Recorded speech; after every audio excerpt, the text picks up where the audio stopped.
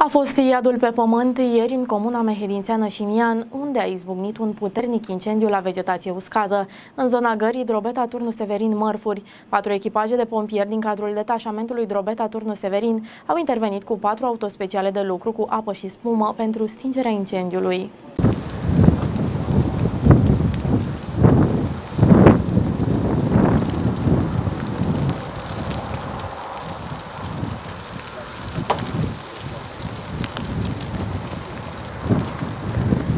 Incendiul cumplit a avut loc în comuna Șimian. Patru echipaje de pompieri din cadrul detașamentului Drobeta Turnu Severin au intervenit cu patru autospeciale de lucru cu apă și spumă pentru stingerea unui incendiu izbucnit la vegetație uscată în zona gării Drobeta Turnu Severin, mărfuri din localitatea Șimian. Rezerva de apă a fost asigurată de alte două autospeciale de pompieri. Aceștia au acționat pentru protejarea clădirilor și localizarea incendiului. La fața locului a fost mobilizată și o autocisternă a Serviciului Voluntar pentru Situații de Urgență și Mian. În cursul zilei de joi, pompierii mehedințeni au fost solicitați să intervină pentru stingerea unui incendiu izbucnit la vegetație uscată în zona gării din localitatea Șimian. La locul evenimentului au fost mobilizate mai multe echipaje de pompieri din cadrul detașamentului Tropeta Turnu Severin cu șase autospeciale, dar și o autocisternă a SVSU Șimian și o autocisternă a unui operator economic. Oamenii din zonă s-au speriat ca flăcările să nu ajungă și la casele lor. Disperarea se putea citi pe chipuri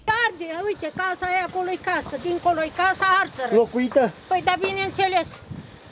Câte case au ars? Două. Și mai avea un pic și ajungea la noi. Eu deci două case locuite aici și au ars? Au ars. Din temelie? Păi eu știu, acum poți să-ți dai seama ce e fumul ăsta.